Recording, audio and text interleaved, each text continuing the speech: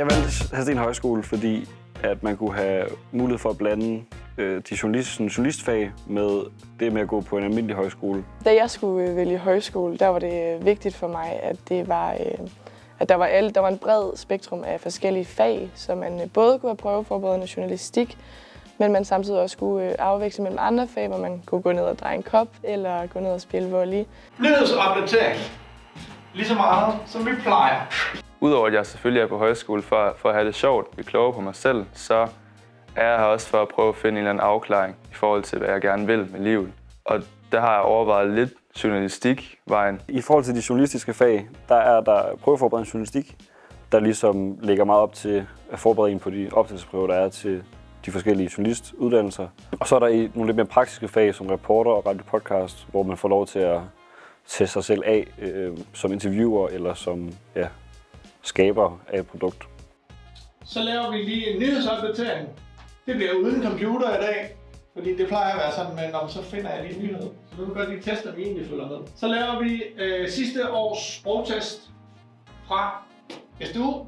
Jeg synes, det er mega fedt at prøve at have boglige fag øh, på den her måde, man har på en højskole. Fordi der netop ikke er det her forventningspres i forhold til karakterer, og der er ikke noget, man sådan skal leve op til. Det synes jeg er sindssygt dejligt at prøve og mærke, at man gør det for sin egen skyld. Så ligger der kuglepinde om bagved jer i den kasse. 25 minutter.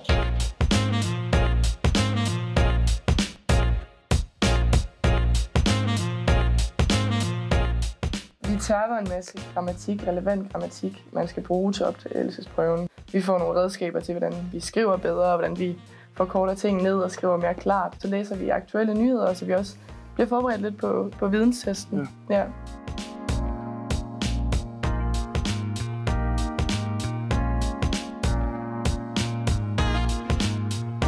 Vi kører det bare i et take.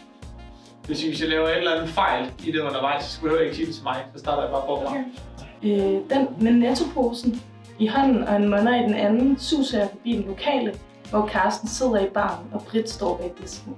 Jeg valgte Radio Podcast, fordi jeg synes, det var et, et, et, et fedt medie. Øhm, altså sådan at arbejde med, med lyd. Emil! Perfekt. Ja. Og så har man jo hørt mange podcasts, hvor man tænker, det kunne jeg også gøre det der. så det vil jeg gerne prøve. Ja.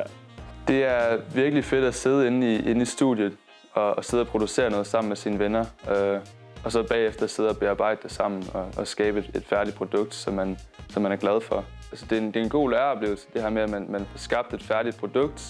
Især når det er på højskolen, hvor folk er så åbne over for hinanden. Øh, her er der rent faktisk nogen, der gerne vil læse din artikel, som du har skrevet. Der er også nogen, der gerne vil lytte til den podcast, du har lavet med dine venner. Skal vi lige høre lyden? Det lyder som kaffe. det lyder fandme som kaffe, der er brygget.